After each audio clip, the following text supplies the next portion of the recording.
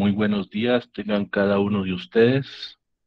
Sean bienvenidos a la sesión número 4 del curso Elaboración y Presentación de Tesis 1, correspondiente al ciclo cuadrigésimo cuarto de cursos libres de la Universidad de San Carlos de Guatemala, con fecha 18 de septiembre del año 2021. Previamente, antes de iniciar la clase, vamos a dar algunas informaciones, como siempre lo hacemos.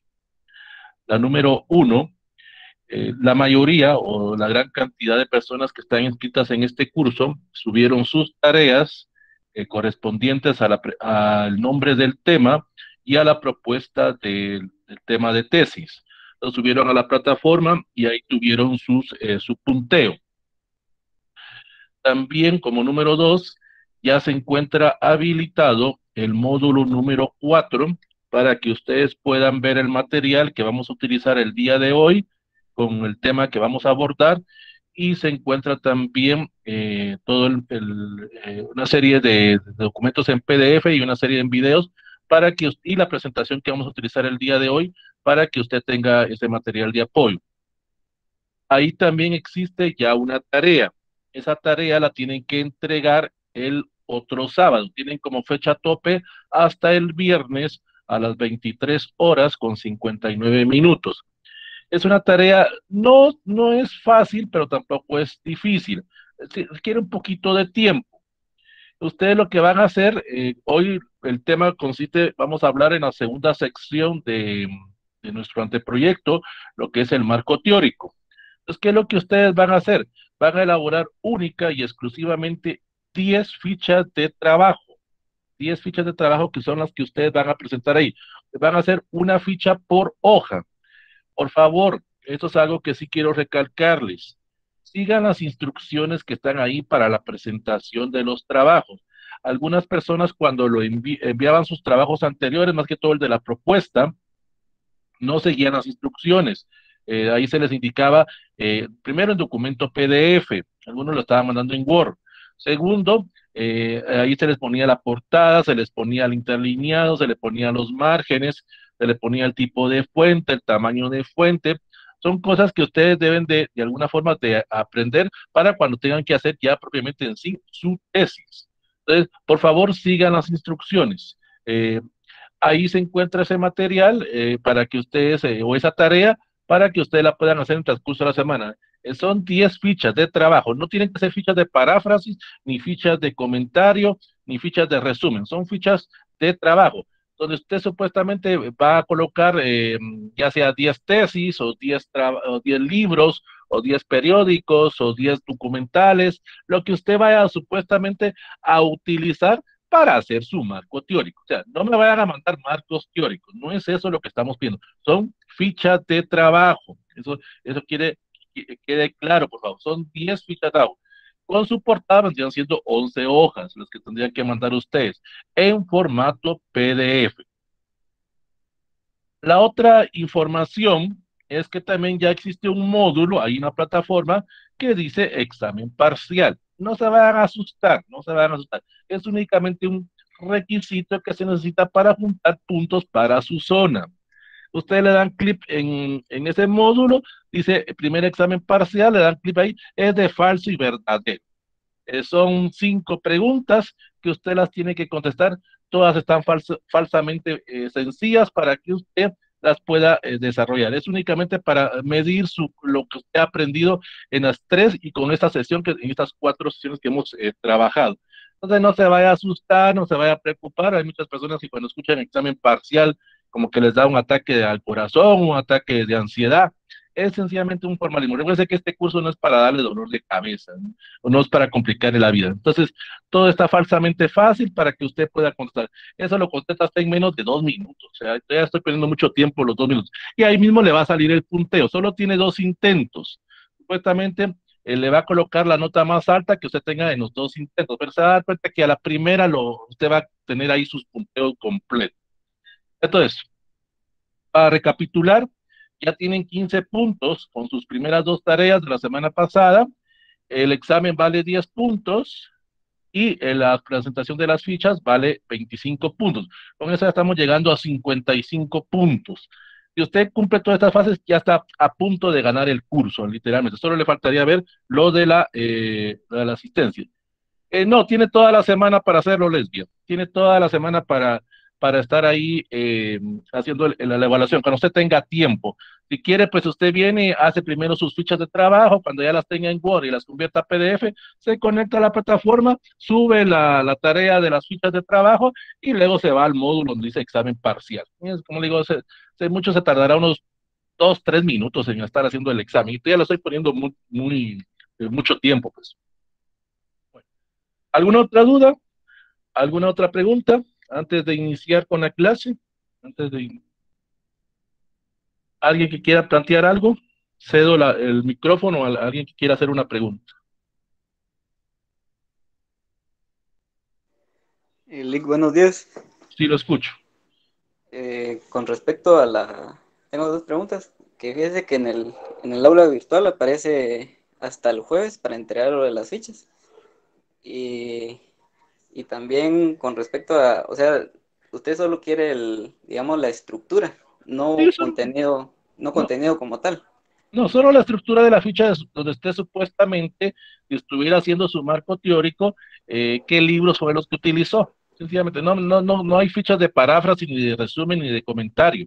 Es una ficha de trabajo, donde usted supuestamente colocó o va a colocar el material que supuestamente está utilizando para hacer su marco teórico. Ah, excelente. Muchas gracias. ¿Qué hay que hacer? Es que no tenía internet hasta ahorita entré. Eh, eh, mire, Mariela, vuelvo a repetir. Usted ingresa al módulo, al módulo de la plataforma de web de la Facultad de Ingeniería. Eh, ya está habilitado el módulo 4, en donde dice marco teórico. Ahí usted puede ver todo el material que vamos a utilizar el día de hoy y se encuentra también la tarea que corresponde a la otra semana. Ahí usted le da clic y ahí están las instrucciones tiene que elaborar 10 fichas de trabajo, eh, una ficha por, en cada hoja, entonces le van a salir 10 hojas, más su carátula o portada serían 11. Todos los fichas de trabajo, no me vaya a poner ahí eh, comentario, resumen o paráfrasis, solo, quiero ver cómo hacen ustedes las fichas de trabajo, nada más. Es una, en eso consiste. Y la otra, en el otro mosaico, en el otro módulo de, la, de su curso, aparece una sección donde dice exámenes parciales le da clic ahí precisamente y le va a aparecer primer examen parcial. Eh, le da clic ahí y son preguntas, son cinco preguntas de falso y verdadero, donde usted las tiene que contestar, tiene dos intentos, al primer intento usted lo, va a hacer. Todas están falsamente fáciles para que usted pueda eh, contestarlo lo más pronto posible. Está toda la semana, está toda la semana para, eh, para que usted lo pueda hacer. Ángela, eh, envié mi tarea uno con el nombre de la tesis. Aparte se me pidió el nombre y entendí que ya iba todo. Eh, sí, eh, eh, Ángela, ah, como usted precisamente quería hablar, porque no me está cuadrando, hay, ah, me aparece 99, digamos, 99 enviados con el tema de tesis, y en la propuesta me parece 98, creo que era usted precisamente la que no me cuadraba ahí. Entonces, mande ahí la, la otra tarea eh, escríbame por el, por el mensaje de la plataforma y yo le voy a habilitar a usted únicamente eh, para que usted pueda enviar esa, tarea pendiente de usted. ¿alguien más? ¿Alguna otra pregunta? Si no, vamos a, iniciar. Voy a deshabilitar un momento el chat para que eh, pongamos atención con el tema que vamos a abordar el día de hoy. Al terminar la, la, la exposición, habilitaré nuevamente el chat y ahí podré aclarar todas sus, eh, sus dudas. Entonces voy a compartir en este momento pantalla para que podamos iniciar ya eh, con la sesión del día de hoy.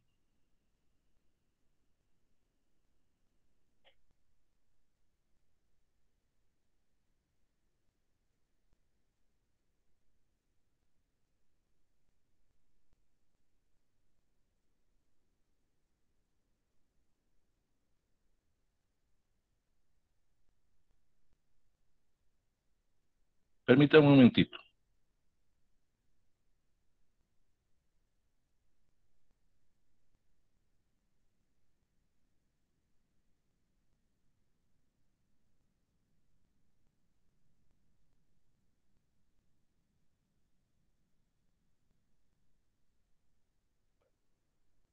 El día de hoy vamos a abordar sobre el tema, permítame un momentito.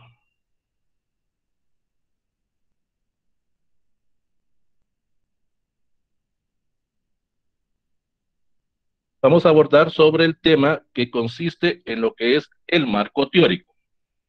Eh, recuérdense, es eh, cuando estamos elaborando el anteproyecto o protocolo de tesis o diseño de tesis, se habla de secciones. En este caso sería la sección número dos. La sección número uno fue lo que vimos la semana pasada, que era el marco conceptual. Entonces hoy vamos a hablar sobre el marco teórico, que es en sí la, la esencia de tanto de su anteproyecto como de su tesis. Algunas personas consideran que el marco teórico es en sí eh, la parte más importante de todo el trabajo que ustedes van a hacer.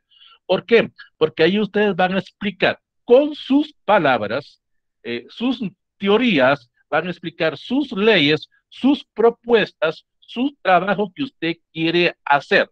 Repito, cuando usted hace un anteproyecto, habla a tiempo futuro.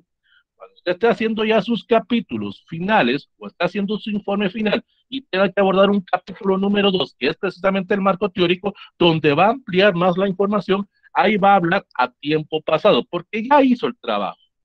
Entonces, el marco teórico, eh, lo que tratamos de hacer es de que usted eh, pueda explicar esa teoría, pueda explicar esas leyes que usted eh, maneja y también pueda manejar el aspecto legal, si en algún momento usted tiene que describir o mencionar leyes, que es parte, por ejemplo, de los que estudian derecho, pero también en las otras carreras en algún momento debe de mencionar de dónde viene esa sustentación que usted está afirmando. Por ejemplo, hay algunas personas que son de medicina y quieren comparar eh, cierto, eh, cierta enfermedad y tienen que basarse en el código de salud, por ejemplo. Entonces tienen que mencionar el acuerdo gubernativo que dio origen a ese, ese código de salud o algún tipo de ley o algún tipo de acuerdo ministerial eh, basado en ese, en ese marco legal que usted quiere plantear o usted quiere explicar. Entonces, el día de hoy vamos a abordar cuatro, cuatro esencias en lo que es el marco teórico. Vamos a hablar primero de lo que es una teoría, vamos a definir lo que es el marco teórico, vamos a ver las funciones del marco teórico y cómo hacer un tipo de lectura para que la persona y usted entienda qué es lo que usted quiere hacer o qué es lo que usted quiere plantear en su proyecto de investigación o en su proyecto de tesis. Vamos entonces por, primero por definir qué es una teoría. La palabra teoría proviene del, griego theory, que significa observar, y es precisamente lo que usted va a hacer en su marco teórico. Va a explicar o va a detallar todas esas teorías que usted las conoce. Repito, y eso siempre se los voy a estar diciendo en este curso. Usted es el experto del tema, usted es el experto del problema, por es que usted lo escogió. Y usted debe de alguna forma de, de indicar qué es lo que usted quiere hacer. También aquí va a tener usted una breve visualización de, digamos, de la, del tipo de material que usted va a trabajar o que usted va a presentar para que las personas entiendan qué es lo que usted está haciendo o qué es lo que usted plantea hacer en algún momento. Algunas personas también indican que la palabra teoría es en sí, eh, eh, eh, está basado en un lenguaje coloquial, donde usted estructura las ideas, donde usted detalla una especie como de índice, es lo que usted quiere manejar, es lo que usted quiere explicar. Pero desde el punto de vista científico, son ideas sistemáticas, son ideas ordenadas, son ideas a través de un sistema lógico en el cual usted va a presentar ese tipo de observaciones a, axiomas o postulados. ¿Qué significa todo eso? Que usted en algún momento va a utilizar términos, términos relacionados a su carrera, términos relacionados al lenguaje que usted maneja como profesional. O sea, en simples, en simples palabras, a partir de ese momento usted ya tiene que hablar como abogado, como psicólogo, ya tiene que hablar como arquitecto, como ingeniero, utilizando esos tipos de, de lenguaje o ese tipo de comunicación relacionados propiamente con su carrera.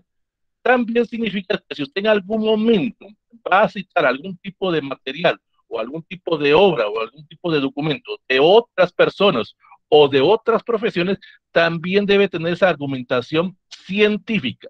Aquí no entra aquel famoso conocimiento eh, empírico que abordamos en la primera sesión. Aquí no está basado en opiniones de usted, sino que está sustentado en argumentación científica, en argumentación que le permita a usted poder comprobar o rechazar lo que usted está afirmando, lo que usted quiere defender, lo que usted en algún momento va a poder argumentar cuando tenga su examen público o su defensa de tesis o se reúna con su asesor o con el encargado de metodología. Va a empezar a afirmar esos, esas ideas eh, eh, sistemáticas o esas ideas eh, científicas que usted conoce. ¿Para qué nos sirve la teoría? La teoría nos va a servir para explicar esa realidad. Ahí tenemos que nosotros utilizar aquellas preguntas. ¿Por qué y cómo y cuándo? Solo aquí solo son tres. ¿Por qué, cómo y cuándo está ocurriendo el fenómeno que estamos estudiando? Acuérdense, ya no nos interesa el tema. Eso fue eh, cuando escogimos nuestro tema de tesis. Aquí tiene que ver mucho, muy relacionado con la delimitación que planteamos en el marco conceptual, en la primera sección, o en, en la primera sección de nuestro anteproyecto. Tenemos que ordenar esos conceptos, esas ideas, para que podamos describir a profundidad el problema. Cuando nosotros hicimos la delimitación, recuerden que pusimos delimitación temporal, delimitación espacial, delimitación geográfica. Aquí es donde nosotros vamos a explicar esa delimitación que nosotros hicimos. ¿Por qué escogimos ese municipio? ¿Por qué escogimos a ese grupo de personas? ¿Por qué escogimos ese problema? Con nuestras palabras. Aquí no necesitamos por el momento todavía eh, revisar eh, eh, información bibliográfica de otras personas, porque aquí estamos defendiendo nuestro punto de vista. Luego tenemos lo que es una lectura y análisis. Como ustedes ven ahí en, en el script, hay una persona que está subido en una serie de libros, una serie de tesis, por decirlo de alguna manera, y le permite ampliar o tener una, una, visión superior a lo que se ha trabajado. Usted tiene que, aquí sí empieza a consultar, aquí sí, cuando va a hacer ese tipo de lectura y de análisis, esos tipos de trabajos de otras personas, para hacer una autocrítica a esos trabajos, para ver en dónde se quedaron ellos y en dónde usted lo va a continuar. La idea de la tesis es precisamente que usted continúe otros trabajos, que no haga lo que otras personas ya hicieron, porque para eso eso es una recopilación de datos nada más.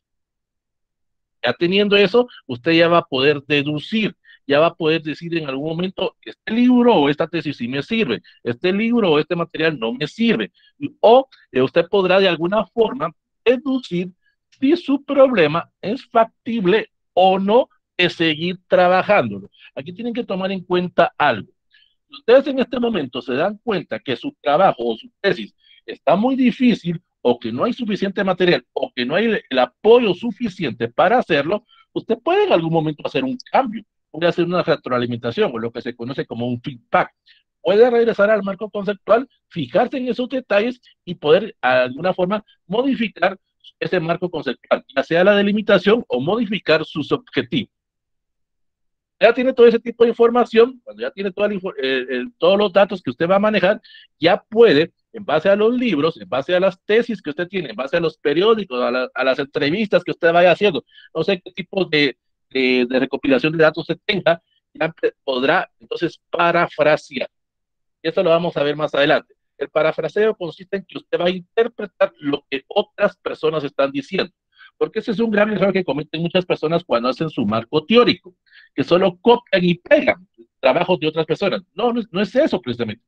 Usted puede copiar y pegar dentro de su trabajo haciendo las citas o, indicando de dónde viene ese tipo de material, pero lo más importante es parafrasear esa idea. Es que eso es lo, la, en sí la esencia de la tesis, que usted dé un nuevo conocimiento, un nuevo, un nuevo aporte a la, a la investigación científica. Entonces, ¿Qué es en sí un marco teórico? El marco teórico en sí, algunos investigadores o algunas personas lo catalogan como la esencia o la parte más importante de su trabajo. Es lo que le va a dar consistencia. Es en sí lo que va a identificar las fuentes primarias y las fuentes secundarias. Las fuentes primarias son los libros, revistas, periódicos, eh, tesis, todo lo que usted tenga en forma digital o en forma eh, física. Y de ahí me va a poder, poder tener eh, o sustentar ese objeto de estudio. Se recuerdan que eso lo vimos la semana pasada, dentro de una de las partes del, del marco conceptual. También ahí me va a permitir ampliar o describir a mayor profundidad el problema. Y ahí voy a, a, poder yo, en base a mi conocimiento, en base a mi experiencia, todo lo que me han enseñado en los 5, 6, 7, 8, 9 o 10 años que lleven a la universidad, ahí yo voy a poder definir y voy a poder tener una visión de los conceptos teóricos que yo voy a manejar. Y también voy a poder explicar de alguna forma qué tipo de técnicas o instrumentos utilizaré para poder comprobar o rechazar esa afirmación que yo estoy diciendo en mi marco teórico, pero estoy diciendo en mi marco conceptual y que más adelante también me servirá para desarrollar eh, mi famosa hipótesis. También otra función que tiene el marco teórico es que me va a facilitar toda la información que tenga. Me va a permitir de alguna forma explicar todo lo que he venido, todo lo que he venido haciendo o lo que hice en mi marco conceptual explicaré los objetivos, explicaré la delimitación, explicaré la justificación. Aquí ya profundizo eh, qué es lo que yo en sí quiero hacer o qué es lo que queremos hacer en nuestro, en nuestro trabajo de, investigación. Algunas personas eh, le llaman, en vez de marco teórico, le dicen marco referencial. Es lo mismo. Ya sea, usted puede poner en marco referencial o marco teórico, no hay ningún problema.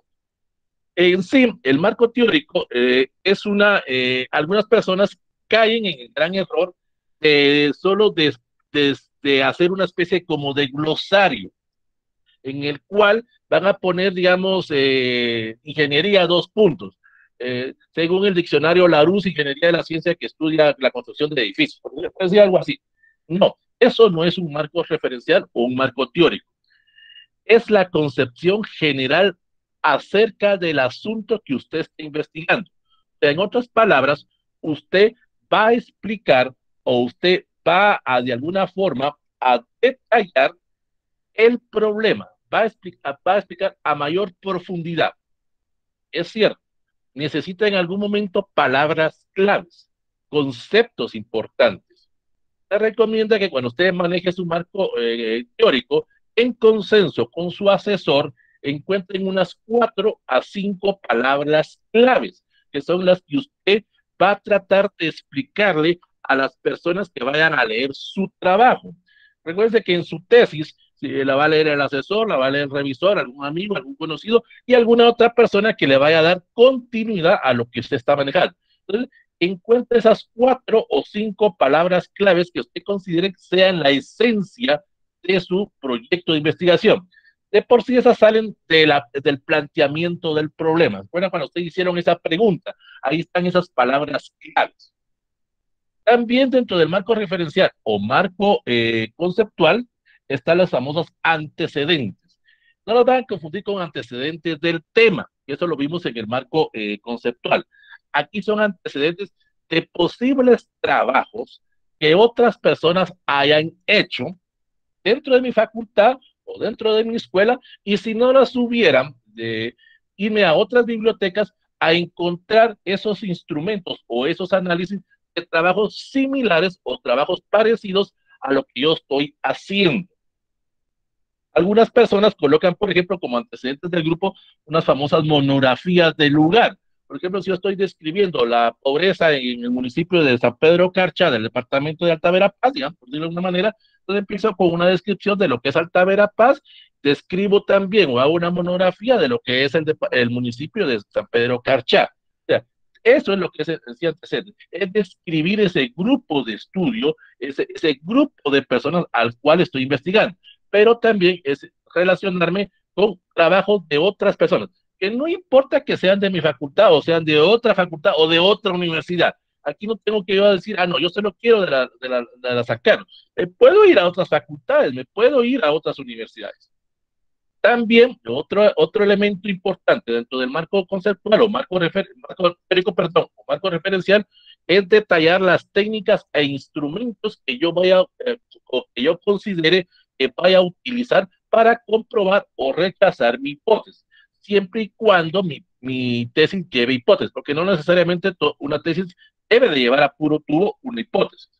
Aquí esta parte en sí es la esencia de explicar, por ejemplo, si voy a utilizar encuestas, por qué voy a utilizar encuestas, si voy a utilizar entrevistas, por qué. Por ejemplo, si soy del área de psicología y voy a utilizar algún tipo de test, aquí debo de explicar ese tipo de test para que las personas entiendan en sí es lo que quiero hacer y cómo lo voy a hacer con ese grupo de estudio. Si yo voy a utilizar, por ejemplo, en el área de medicina, algún tipo de, de, argumentación de prueba y error, aquí debo de explicar o de detallar esas, esos instrumentos y esas técnicas para poder de alguna forma que eh, las personas entiendan y tengan sentido con lo que yo estoy haciendo. También en, en esa parte yo voy a explicar esos conceptos, esas categorías, las leyes o postulados que yo estoy proponiendo. ¿Viste bien? Son conceptos, categorías o leyes que yo propongo. En sí eso es la esencia de la tesis. Vuelvo a repetir. Usted va a dejar un aporte, va a dejar un nuevo conocimiento. Y eso le va a servir a las personas para que profundicen más en lo que yo estoy eh, haciendo o lo que yo voy a dejar de hacer. Viene usted y va a empezar a buscar libros, va a empezar a buscar revistas, periódicos, se va a empezar a reunir con personas que usted considere eh, eh, en base a las sugerencias de su asesor o de otras personas que le puedan recomendar.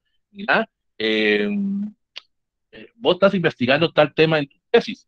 yo conozco a una persona que te puede, que te puede ayudar a hacer ese tipo de, de trabajo. Entonces, debes de alguna forma poder tener ese tipo de entrevista, ese tipo de, reuniones con esas personas para que yo pueda de alguna forma tener esa discusión, porque puedo escuchar lo que esas personas hicieron, puedo de alguna forma relacionar la experiencia de esas personas con la experiencia que yo pueda tener. Es aquí donde algunas personas mezclan, eh, cuando ustedes se recuerdan cuando hablamos del marco conceptual, las famosas pruebas pilotos o, las pequeñas pruebas eh, exploratorias para poder definir o ver si es factible o no mi problema de investigación. Eso es en sí como parte de antecedentes. Son, los, son aquellas investigaciones o reuniones que yo pueda tener con otras personas que hayan abordado. Si las logro reunir. Si no, pues vuelvo a leer las tesis de estas personas o los libros de estas personas y, de alguna forma eh, me voy empapando o voy profundizando en lo que ellos hicieron o qué es lo que ellos les faltó hacer. También en algún momento, como segunda fase, tengo esa fase teórica, donde voy a poder tomar una posición acerca del problema. Ah, no es que yo esté recomendando ni esté concluyendo, porque eso todavía no es, pero voy a reunir esos conceptos. ¿Se recuerda cuando hablamos de las cuatro palabras claves, en el cual yo me voy a enfocar en determinado problema y voy a explicarlo más detenidamente? También ahí yo voy a poder de alguna forma poder expresar con argumentación científica y legal qué es lo que yo estoy encontrando. Aquí también ya planteo eso. ¿Qué, eh, qué problemas estoy encontrando para hacer mi trabajo de investigación? Y como tercer paso, en sí, para elaborar mi marco teórico, voy a hacer ese, esos, esos, eh, esos significados precisos. Ya los voy a explicar, esos conceptos, con mis palabras. No es, vuelvo a repetir, no es copiar y pegar de otros trabajos, sino que usted puede, eh, de, colocarlos ahí, pero parafraseelos, coméntelos, resúmenes. Y eso lo va a hacer usted a través de diferentes tipos de fichas bibliográficas, que es precisamente una de las razones por la cual les pedí su, su tarea. Entonces, ya teniendo en cuenta eso, entonces ya puedo pasar a los diferentes tipos de lectura que yo voy a utilizar en mi eh, presentación o elaboración de trabajos de, de tesis. Eh, yo puedo hacer tipos de lectura crítica, o tipos de lectura de estudio, exploratoria, informativa o literaria. Si hay alguien aquí de, humanidades o es alguien que está, estudiando eh, lo que es profesorado en, en, lenguaje o literatura, entenderá esto más fácilmente. Pero esto lo vamos a abordar nosotros. Ese tipo de lectura o de información me va a permitir previamente explorar. O sea, yo voy a recopilar todo el material. ¿Se recuerdan que lo hablábamos en las primeras sesiones? Tengo los catálogos de estudios, tengo eh, los programas de estudio de los diferentes cursos, tengo toda esa información que fui recopilando, pero ahora tengo que empezar a leerla, O sea, de nada me sirvió tener una computadora, haber llenado un disco de 500 gigas de tesis, de, libros de, que busqué en Internet, que escaneé en Internet o que eh, me proporcionaron por ahí, que yo le, lo escaneé o le saqué fotocopia, si no las voy a leer. Entonces, tengo que hacer esa lectura exploratoria para decir, este sí me sirve, este no me sirve, este lo voy a dejar porque hay algunas partes que sí me son importantes, pero otras las voy a descartar. Y allá puedo tener esa lectura informativa, porque ya puedo mencionar o ya puedo decir si otras personas han hecho bien o han hecho mal el trabajo. Ya puedo hacer esa, esa crítica al trabajo que están haciendo. Entonces, la lectura exploratoria en sí es, es más que todo una lectura rápida o selectiva, donde yo descarto o, o, de, o, o dejo aquel material que me pueda servir. Recuerda que tengo demasiado material. Puedo tener 100, 200, 300 libros, tesis, eh, revistas, todo lo que ustedes hayan recopilado. Eso es muy extenso. Tengo que leerlos, pero de alguna forma voy a hacer una, lectura exploratoria, donde podré decir si me puede servir esto o no me puede servir. Y voy a hacer esa lectura rápida, en, el cual eh, podré determinar. Aquí, aquí puede ocurrir algunas cosas. A veces cuando lo hago muy, eh, muy rápido, puede ser que, que realmente ese material sí me sirva y, en algún momento cometa ese error de descartarlo. Pero más adelante puedo hacer esa retroalimentación. Nuevamente voy a regresar a esa, a esa, a esa lectura. No la estoy descartando, no la estoy votando. Sencillamente solo me está sirviendo ahorita para empezar a elaborar mi marco teórico. Entonces, cuando ya tengo esa, esa lectura exploratoria, ya puedo eh, de alguna forma eh, acortar mi tiempo, ya puedo empezar a organizarme, ya puedo tener una idea global de lo que voy a hacer para que mi marco teórico no tampoco sea muy extenso. Se recomienda que el marco teórico en el anteproyecto ande alrededor de 15 a 25 páginas. Porque recuerda, estoy, estoy, estoy haciendo el anteproyecto, no estoy haciendo la tesis, eso lo voy a hacer más adelante. Esto solo me va a servir para tener esa, esa, esa síntesis, esa comprensión general del problema que estoy abordando ya tengo esa lectura informativa, cuando ya puedo saber qué es el material realmente que me va a servir, ya puedo de alguna forma, a través de, de, una tesis, de un, de un, artículo, de una noticia, eh, de alguna forma, detenerme, eh, explorarlo, eh, leerlo más detenidamente y de alguna forma encontrar esas partes que yo considere son la esencia o la parte más importante. Tal vez este libro tenga 100, 100 páginas, y de esas 100 páginas me van a servir tal vez solo 10. Me voy a centrar solo en esas 10, porque yo ya he visto, o ya sé, o ya he calculado que es el material que me puede ayudar a resolver mi problema de investigación. Ya teniendo esos dos tipos de lectura, ya puedo empezar a construir mi marco teórico. Y ahorita vamos a ver los 15 pasos que lleva para hacer un marco teórico. Tenemos el número uno. Vengo me siento con todo el material que ya tengo y empiezo a escribir, basado en mi objetivo. Ya he leído el material, ya tengo la idea, ya tengo la visión o la cosmovisión de lo que quiero hacer. Entonces, a partir de eso empiezo a redactar un párrafo introductorio para que las personas vayan conociendo qué es lo que quiero hacer en mi tesis. Ese, ese párrafo eh, introductorio me va a servir como de presentación para explicar precisamente ese marco teórico. Paso número dos, genero una estructura o macroestructura semántica. O sea, voy creando una especie como de un mapa conceptual sobre el problema que estoy manejando. Empiezo a manejar ese mapa conceptual con conceptos o con conectores para poder encontrar esas palabras claves, las que mencionamos anteriormente. Ya me voy a centrar solo en esas palabras claves ya me voy a centrar si quiero hacer alguna especie como de monografía de lugar. Solo a eso me voy a centrar. Por, por el momento voy a olvidar un poco el problema de investigación, porque tengo que explicarle a las personas esas variables que voy a investigar. Paso número tres. Vuelvo a revisar los autores. No importa que sean autores clásicos o actuales, lo que dijimos la semana pasada. Hay muchos asesores que dicen, revíseme libros de cinco años o tesis de cinco años para acá. No, usted puede revisar esos autores clásicos porque le van a servir, le van a refrescar esa teoría que usted ya está trayendo.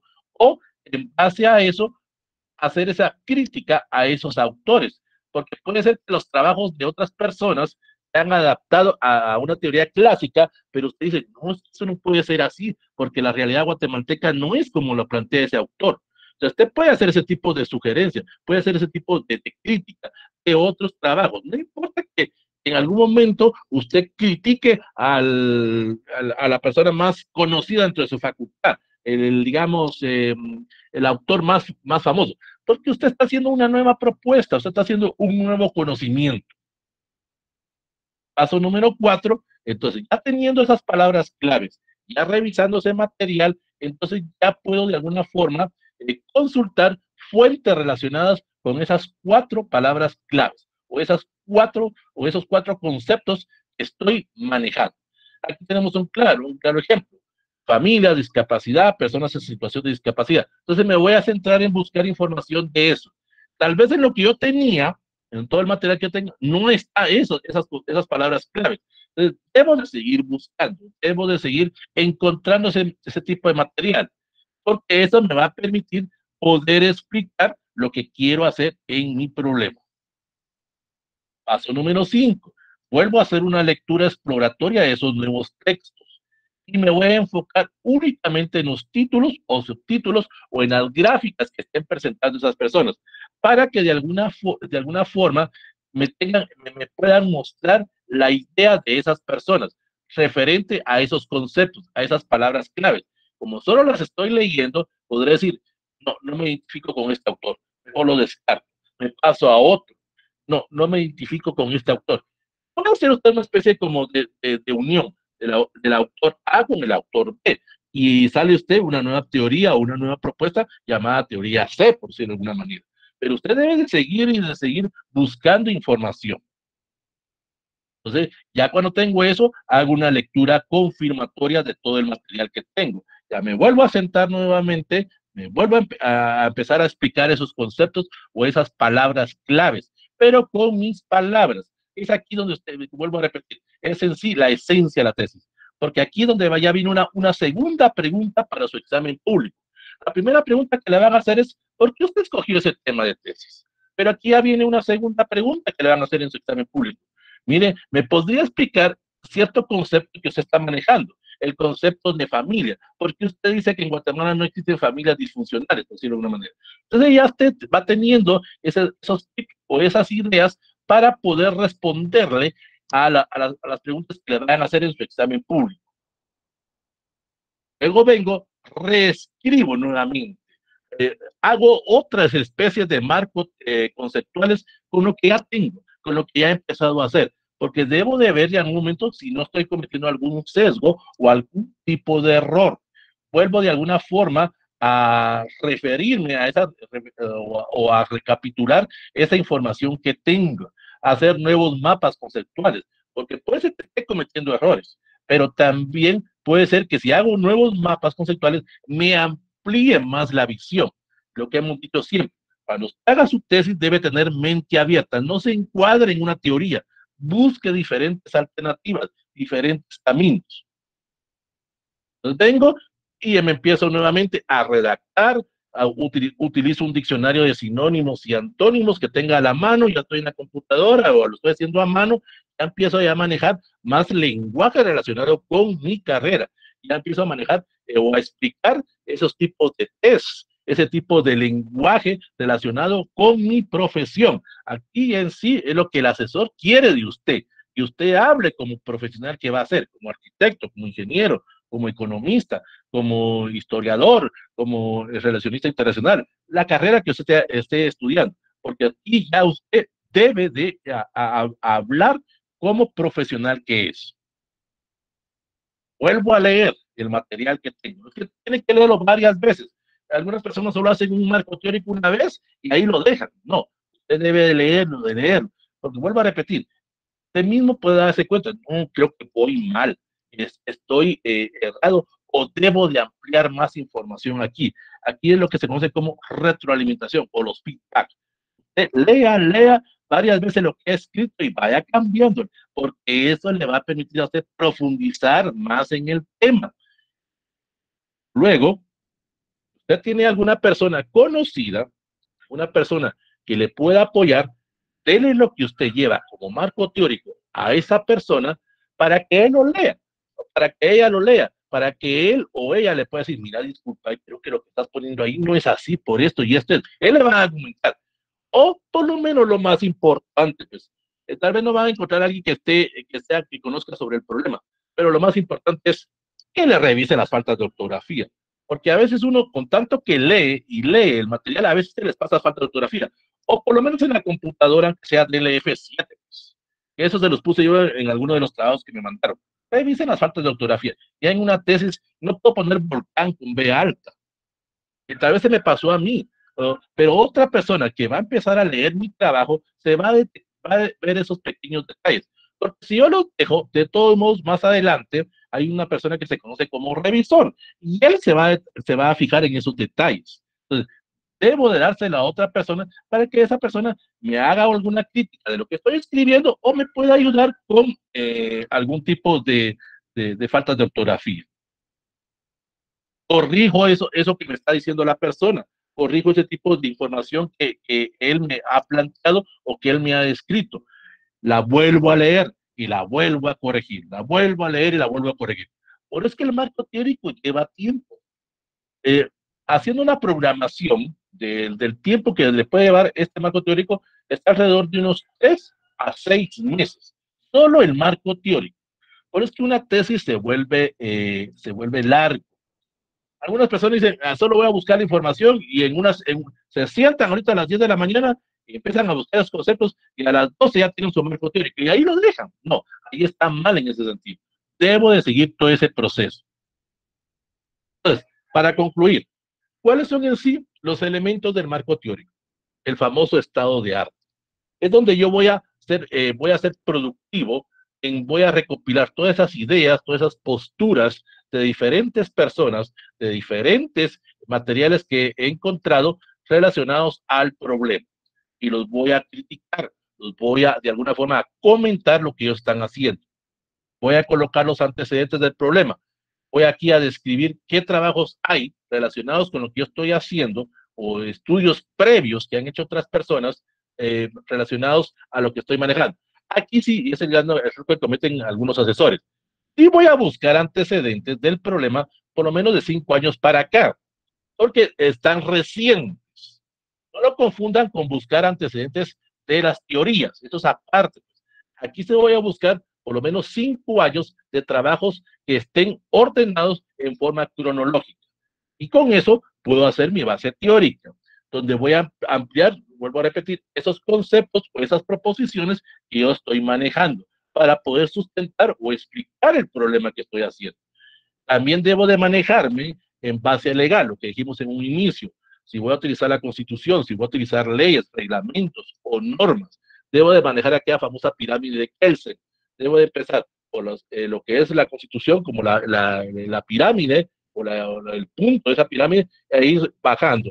Eh, reglamentos, acuerdos, eh, acuerdos ministeriales, reglamentos municipales. Si estoy en algún momento, estoy manejando reglamentos de una institución, debo de tener esa sustentación jurídica para poder describirlos. Y por último, definir esos términos básicos, en el cual yo voy a utilizar mi lenguaje, voy a utilizar mi, mi argumentación, mi léxico como profesional para poder involucrarme relacionado con los objetivos, con la delimitación y con lo que yo quiero manejar. Teniendo en cuenta eso, entonces vuelvo a iniciar nuevamente ese proceso, vuelvo a empezar a escribir y puedo hacer varios marcos teóricos. Hay muchas personas que utilizan cuatro o cinco marcos teóricos para hacerlo y al final de esos cuatro o cinco marcos teóricos encuentran uno. Pues con este me identifico más. Con este creo que es la, la parte más importante en sí de, la, de, lo que estoy haciendo en mi anteproyecto. Entonces vengo y ya se lo puedo presentar a mi asesor. Aunque hay algunos asesores que podrán decir, yo quiero todo su anteproyecto terminado. O habrán asesores que le van a decir, yo quiero que usted me lo, me lo vaya entregando paso, eh, paso por paso para ver qué es lo que usted está haciendo queda criterio de ese asesor que lo, cómo se lo vaya a, a, a plantear o cómo se lo va a, a pedir. ¿Alguna, ¿Alguna pregunta? Licenciado, buenos días. Sí, Alex. Este, ¿será que puede emplear un poco el tema con respecto a la el paráfrasis en el marco teórico. Pues, usted tiene toda la información del, del, tema o del problema que se está investigando. Recopiló todo eso, ya sea en forma digital o en forma física. Empieza a leer. Como usted se va a ir empapando esa información, va a empezar a sacar fichas de resúmenes, fichas de trabajo, fichas de paráfrasis. Va a ir encontrando párrafos, por esos paráfrasis, va a ir encontrando esos párrafos o esos conceptos y con sus propias palabras usted va a interpretar lo que él o lo que ella está escribiendo o lo que ella escribió. Eso es la paráfrasis. Argumentar con sus propias palabras lo que otras personas hicieron. No es solo de copiar y pegar. Usted lo puede manejar y eso lo vamos a ver en una de las secciones, cuando ya tengamos que ver lo de las normas APA o los pie de páginas tradicionales o las normas de Vancouver, las famosas referencias bibliográficas. Entonces, usted utiliza sus palabras con su lenguaje como profesional que es usted. ¿Algo más, Alex? O, sea que es como el aporte del estudiante en el Es el aporte o el nuevo conocimiento que usted va a dejar. No se ah. trata, de, vuelvo a repetir, no se trata de copiar y pegar. Eso lo puede hacer un niño de básico o un joven de, de diversificado que solo van a monografías.com, agarran ciertos conceptos, hacen el famoso diccionario y ahí se acabó. No. Ya tiene todo ese material y ahora va a aportar ese nuevo, eh, ese nuevo concepto. Se deja el párrafo y luego el parafraseo. Sí, dependiendo, Gerson, cómo usted quiera trabajar. Hay algunas personas que colocan el párrafo, como vuelvo a repetir, eh, lo copian eh, de fulanito de tal, empiezan a utilizar la famosa norma ZAPA, y luego después ya parafrasear ese concepto. Bueno, em, según la base que vimos anteriormente, fulanito tal indica que ta, ta, ta, ta, ya va con sus palabras. O algunos de una vez se van directos. Eh, eh, no necesariamente usted en el marco teórico necesita citar las fuentes. Como usted supuestamente lo está haciendo con sus palabras, no tiene que eh, indicar de dónde viene, salvo que su asesor se lo pida o salvo que dentro de los instructivos de su facultad le estén pidiendo que indique de dónde vienen esas fuentes. Repito, usted es el experto, usted es el que conoce del tema, usted es el que conoce del problema, usted está profundizando para que otras personas tengan la visión o cosmovisión de lo que usted está haciendo. ¿Alguna otra duda? ¿Alguna otra pregunta? ¿Y Marlene? Con una consulta cuando usted hablaba del estado de la, de, del arte, este, me surge una duda porque cuando estuve recibiendo el curso en la universidad, ¿verdad? Ese, el licenciado nos recalcaba que el estado del arte era más como, nos decía, hagan un esquema de los temas que van a desarrollar entonces, mi duda es si es correcto realizarlo de esa manera, porque si realicen un esquema, un mapa mental de todos los temas que quieren tratar. En el, estilo de arte, como, como dije anteriormente, es dependiendo cómo usted se identifique, cómo usted se sienta más cómodo. Hay personas que hacen precisamente ese mapa conceptual. Eh, empiezan a, a mencionar esas palabras, empiezan a mencionar ese orden. Es para que usted pueda de alguna forma identificarse o hacerle más fácil su trabajo. O sea, sí puede utilizar, perdón, sí puede utilizar esos mapas conceptuales, eh, sí puede utilizar esas formas de, trabajar, pero si usted considera que no es así, sino que eh, propiamente eh, es una descripción o una estructura, como lo la su compañera, usted sabrá cómo se identifica. Lo puede manejar como mapa conceptual o como una descripción bibliográfica queda criterio ya de usted. Bueno, muchísimas gracias, licenciado. ¿Alguien más? Licenciado, discúlpeme. Sí, eso. Una pregunta con respecto al marco teórico. Usted mencionó un número de páginas aproximado a cubrir. ¿Esto tiene que ver con la diversidad de temas o, o no importa si son pocos temas para cubrir este tipo de, de Mire, página. Y con respecto a cuántos autores se pueden citar por tema. Si ah, eso es una buena pregunta. Bueno, mire, pues, respecto al, al, número de páginas, se recomienda entre 15 a 25, pero también queda a criterio de qué es lo que le vaya a sugerir el asesor. Porque dependiendo del tema o dependiendo del problema, usted necesita ampliarse más. Si usted va a hacer su anteproyecto, está entre 15 a 25. Si usted ya va a hacer su informe final o va a hacer sus capítulos, debe andar alrededor de unas 35 a 50 hojas. ¿Cuántas eh, referencias o cuántas eh, citaciones puede hacer? Unas 5 o 6 y mucho. Porque tampoco se trata de poner eh, los 100 libros que usted manejó. Recuérdese, usted de esos 100 libros, tal vez solo le van a servir 10. Y de esos 10 libros que usted tiene, o esas 10 tesis, solo va a trabajar con 5. es ahí donde usted va a colocar ese tipo de referencia bibliográfica. Trate de no poner muchos, porque la idea en sí es que usted argumente con sus palabras de ese nuevo aporte, de esas nuevas teorías, de lo que usted está haciendo, no de lo que otras personas hicieron. ¿Algo más, Gerson? Únicamente, gracias. ¿Alguien más? ¿Alguna otra pregunta por ahí? Vuelvo a repetir, el marco teórico de unos tres, seis meses para hacerlo.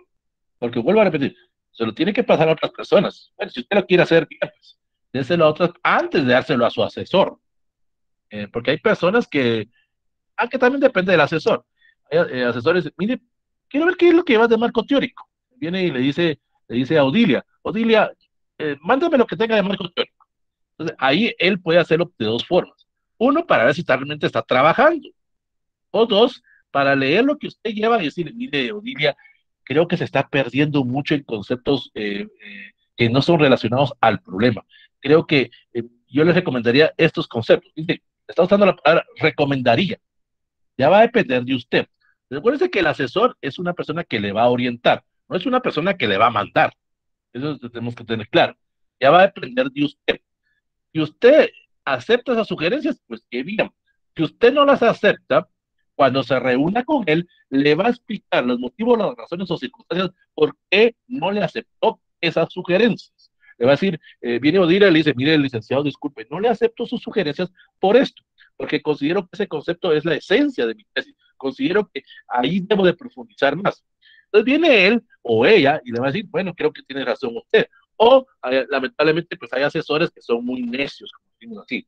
Y, se, y el hecho de que tengan ya un título no significa que tampoco sean la eminencia. Eh, es donde vuelvo a decir, eh, ese asesor tiene que ser amigable, tiene que ser una persona abierta. Claro, eso es en teoría. Pues.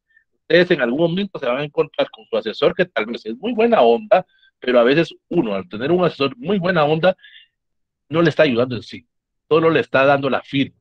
Y a veces lo que usted quiere es que aprender. Porque también en la la esencia de la tesis, aprender. No solo es hacer por hacer, pero ya queda ya criterios de usted. ¿Una otra pregunta? ¿Una otra duda? Particípese, para eso estamos aquí en este curso. Si no, pregunto. Licenciado, buenos días. ¿Y Oscar? Eh, no sé si, si la señal se me, se me falló, pero también tengo una inquietud. Por ejemplo, en un párrafo, ¿a cuántos autores se puede citar? ¿Existirá algún eh, límite? Miren, eh, por regla, no es por regla, pero se recomienda en un párrafo un autor nada más. Recomienda que usted solo haga esa, esa, esa citación de ese material. Ahora, por favor, puede apagar su cámara, disculpe. Entonces, ahí ya queda ya a, criterio ya de, de usted. Hay otras personas que dentro de los párrafos mencionan dos o tres autores. Es que depende de lo que usted esté hablando o de lo que usted está citando. Eh, por eso que hay párrafos de 40 palabras. Eso lo vamos a ver cuando ya veamos las referencias bibliográficas. Eh, un párrafo no tiene que ser muy extenso. Se acostumbra de 40 palabras. Porque usted está en sí dando la esencia. No se trata de hacer una enciclopedia. Ese es un gran error que cometen muchas personas cuando hacen su tesis. Cuando se van al marco teórico, a veces el marco teórico le sale de 200 páginas Imagínense, solo en el marco teórico de 200 páginas, ¿de cuánto va a salir esa tesis entonces? Cuando tengan que hacer su trabajo, su, su trabajo de campo, cuando tengan que hacer la interpretación de datos, entonces esa tesis va a andar por los 400. Está bien para una tesis de maestría o de doctorado, pues, pero usted está ahorita en una tesis de licenciatura, solo está haciendo la descripción del trabajo. Pero si usted la quiere hacer de 200 o de 400 páginas, es a criterio ya de usted. Es usted el profesional, es el, que usted va a argumentar o va a explicar o va a defender por qué eh, está utilizando tanta cantidad de materia. ¿Alguien más? Eh, que existir varios antecedentes. Eh, mire, hay antecedentes del tema, que eso fue lo que vimos en el marco conceptual, la primera, en la primera sección. Ahorita voy, David. La primera sección, lo que vimos la semana pasada, son antecedentes del tema, todo lo que buscábamos información. Antecedentes del problema es la información de posibles trabajos que hayan hecho otras personas que sean igual al mío o parecidos al mío, no importando de dónde vengan, si sean de mi misma facultad o escuela o sean de otra facultad o de otra universidad, porque ahí me va a servir para conocer o tener esa visión de, de otros campos. Yo estoy estudiando sociología, puedo hacerlo desde el punto de vista jurídico, o puedo hacerlo desde el punto de vista eh, psicológico o economista, o puedo hacerlo desde el punto de vista histórico. Entonces, usted en algún momento eh, debe de buscar esos antecedentes del problema. Aquí en el marco teórico es antecedentes del problema. En el marco conceptual eran antecedentes del tema. Esa es la diferencia. ¿Sí, David? David Barrios. Retomando lo que usted estaba diciendo, entonces lo que nos enseñan eh, en los cursos de investigación es de dar muchos argumentos pero en sí son argumentos vacíos, porque lo de 40 palabras yo, a mí me costó un montón porque yo ya le estaba escribiendo un párrafo de aproximadamente 100 palabras, pero fue como, de ahí cuando volví a leer fue como, no, hay que escribir 40 palabras.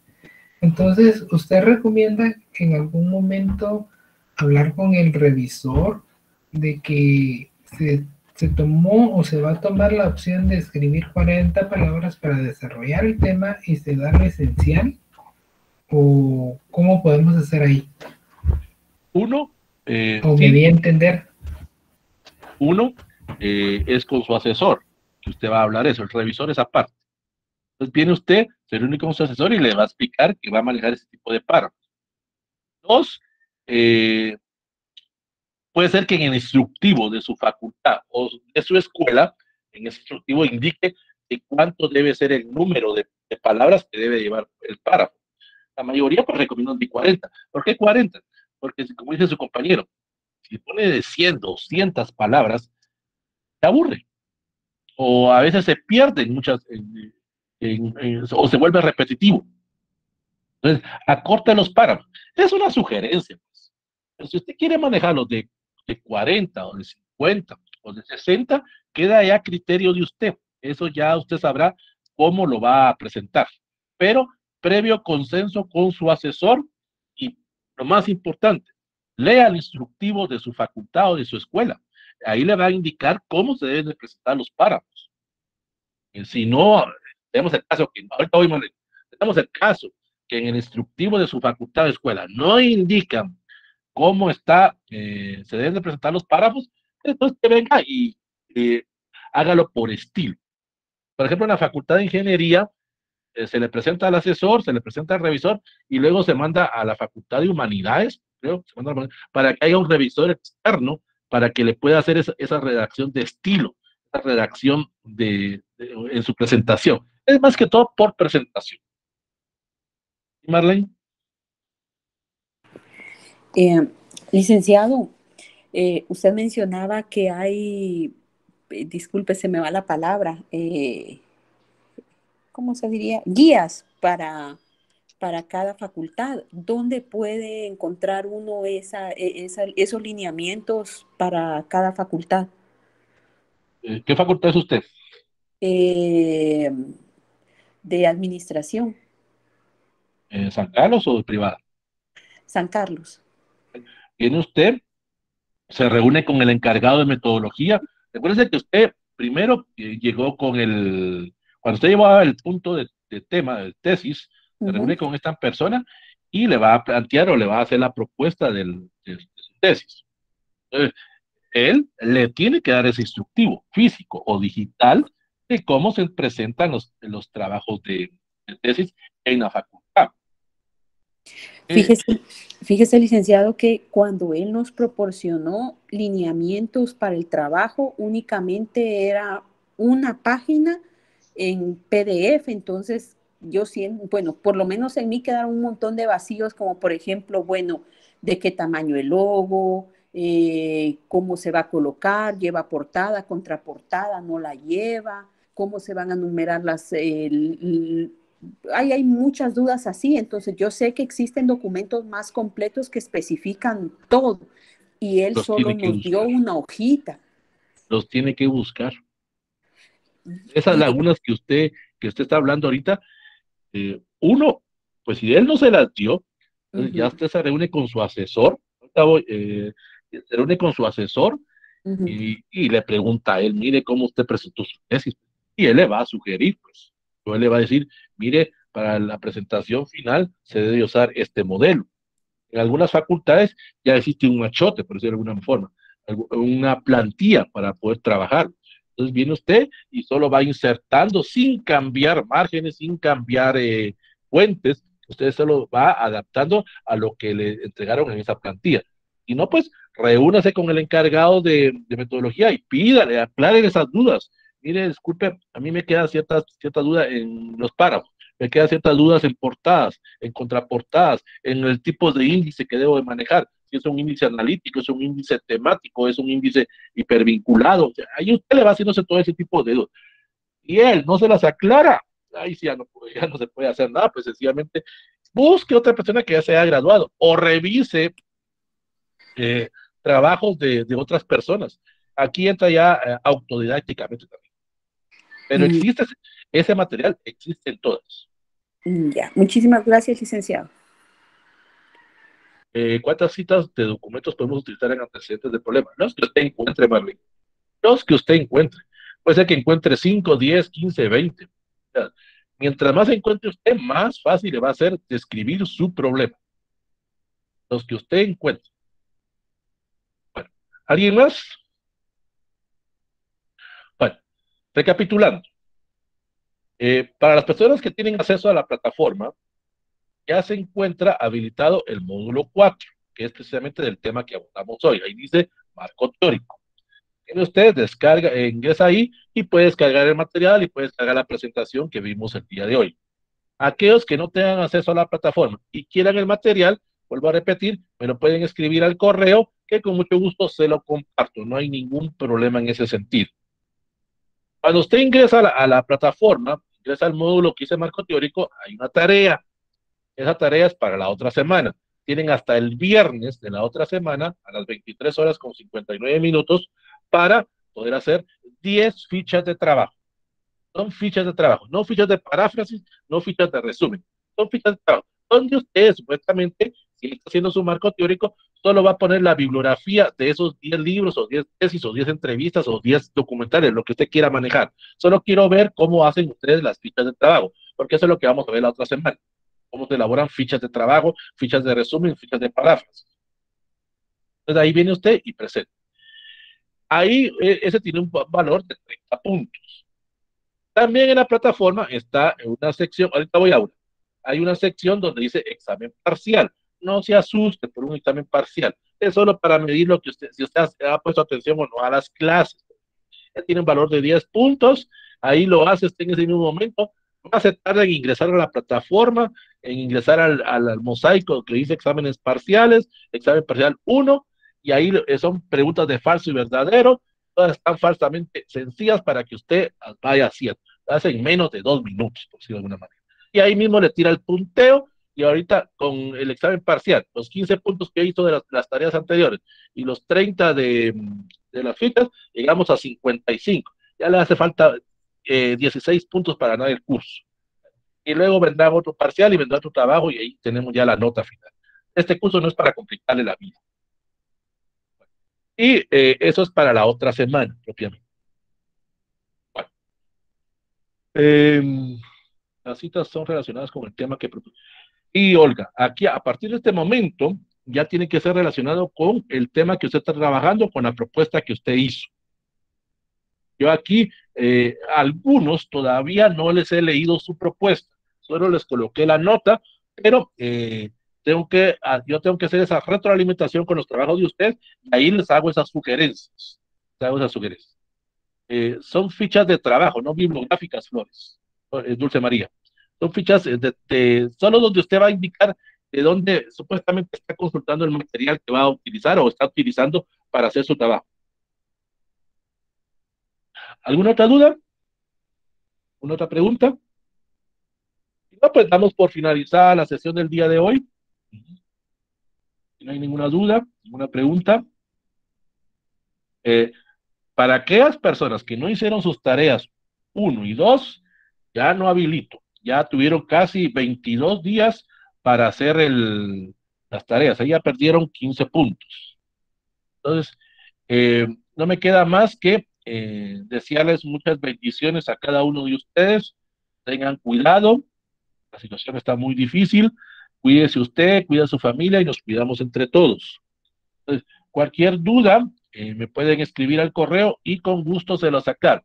Eso sí, por favor, no van a estar mandando las tareas a las 11 de la noche con 10 minutos el día viernes. O sea, mándelas antes, pues, o sea, no están complicadas esas, esas tareas y ese examen. como digo, lo hace, eh, lo hace todo en 15 minutos realmente, tanto la tarea como la, el, el examen. Entonces, les deseo muchas bendiciones, muchos éxitos, muchos triunfos, que su semana les vaya, eh, les vaya muy bien, muy claro en sus clases, me haría favor de habilitar lo que... Eh, Ángela, ¿de qué está hablando? Ángela puede abrir el micrófono, porque no, ahí sí no le entiendo lo que escribió. Ángela Chop. Eh, sí, perdone, eh, al inicio yo le mencionaba de que dentro de mi trabajo, la primera tarea yo había puesto el nombre del trabajo y usted me dijo que me iba a habilitar un momento para que yo envíe el, lo envíe por aparte. Conéctese a la plataforma si quiere el lunes. Porque El lunes, ah, perfecto. que le, le- le estaría mintiendo, mire, ahorita lo voy a hacer, porque no lo puedo hacer. Ahorita tengo que cerrar la sesión, conectarme al otro curso y luego el lunes le habilito. Ahí me escribe primero por mensaje. Excelente, está bien, Liz, muy amable. Va. Gracias. Entonces, doy por finalizada la sesión del día de hoy. Les deseo éxitos, bendiciones y nos estaríamos viendo el próximo sábado a la misma hora por el mismo medio. Gracias, Lick. Buen día. Nos vemos, licenciado. Gracias. Buen día. Feliz día, licenciado. Buen día. Saludos a todos. Feliz día. Igualmente,